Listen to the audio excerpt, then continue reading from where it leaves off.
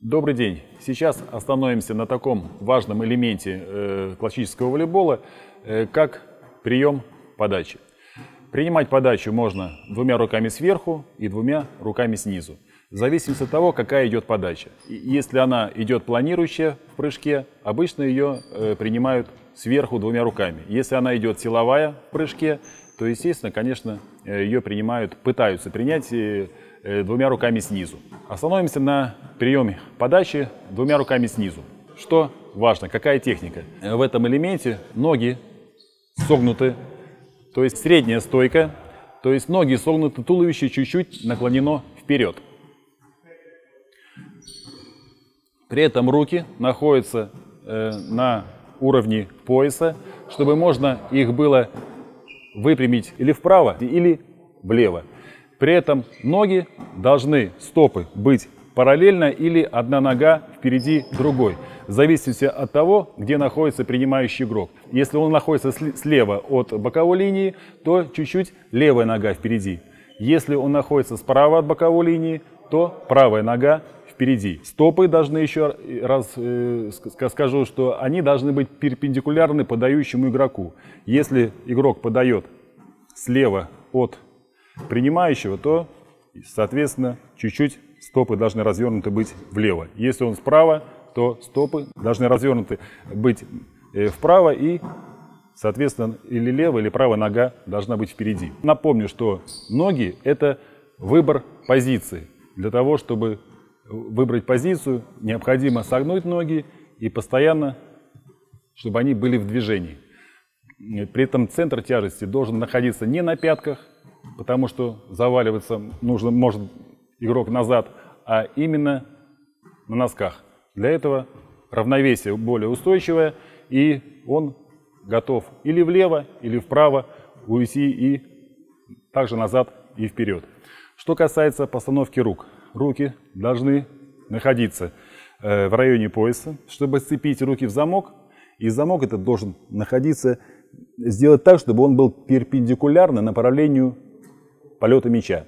При этом из предплечий должна образоваться платформа прямая, на которую должен э, падать мяч. Мяч должен падать в район так называемых манжеток. Если он упадет выше, то подобьется над игроком, который принимает. Если руки будут параллельно полу, а не под углом, то то же самое, в лучшем случае мяч подобьется э, над игроком, и связующий игрок, он, ему нужно прилагать очень большие усилия, чтобы добежать до этого мяча. Поэтому основная стойка, еще раз повторю, на носочках, ноги согнуты в коленях, руки около пояса.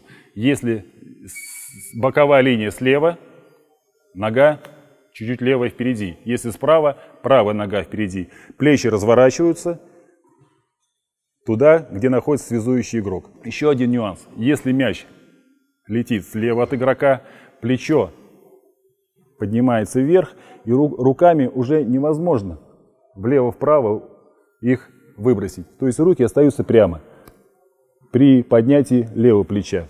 Соответственно, левая нога, конечно, должна быть впереди. Наоборот, если мяч справа, правое плечо и правая нога впереди, правое плечо поднимается, и руки тоже остаются прямо. При этом руки в замок, опять же, перпендикулярно мячу, и все руки уходят в пол под углом. Главные критерии приема – это постановка ног. Ног это, ноги – это выбор позиции. Руки – это концентрация рук на мяче. Мяч ложится, мы смотрим, контролируем мяч руками, куда даже иногда можно смотреть, даже куда мяч приземляется. Но главное выйти под мяч так, чтобы он ложился именно на манжетки. Для этого нужно постоянно быть в движении. Если мы будем стоять на пятках, то мы очень, нам очень трудно будет переместиться. Когда идет подача в прыжке силовая, то очень трудно за короткий промежуток времени переместиться. И, как правило, игрок принимающий стоит на одном месте. То есть каждый игрок, сколько их будет, три или четыре принимающих, реже четыре, обычно три, он каждый прикрывает свою зону. То есть, если, если он летит мяч далеко, полтора или метр от него, то очень трудно среагировать на силовую подачу, если она очень сильная.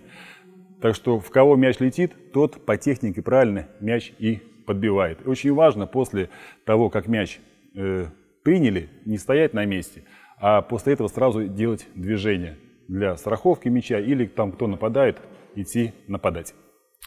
При приеме двумя руками сверху, когда подается планирующая подача. Но я там потом остановлюсь на технике, конечно, передачи, они примерно одинаковые.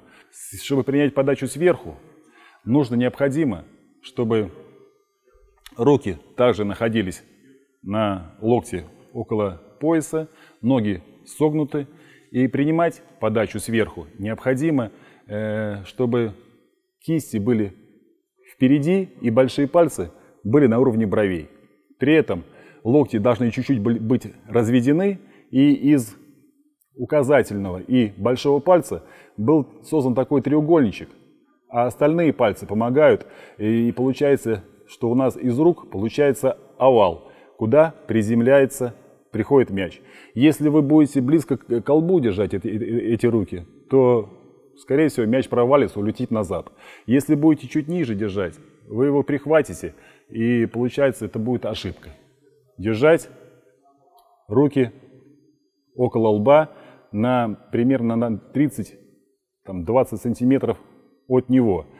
Примерно, чтобы большие пальцы были на уровне бровей. Опять же, ноги согнуты, и с помощью ног, рук и туловища синхронно мы выпрямляем все. И желательно, чтобы руки выпрямлялись не полностью – а чуть-чуть были полусогнуты. То есть здесь в основном работают ноги, за счет ног. Люди, которые, игроки, которые обладают таким приемом сверху, они осуществляют его более эффективно и более качественно, чем снизу.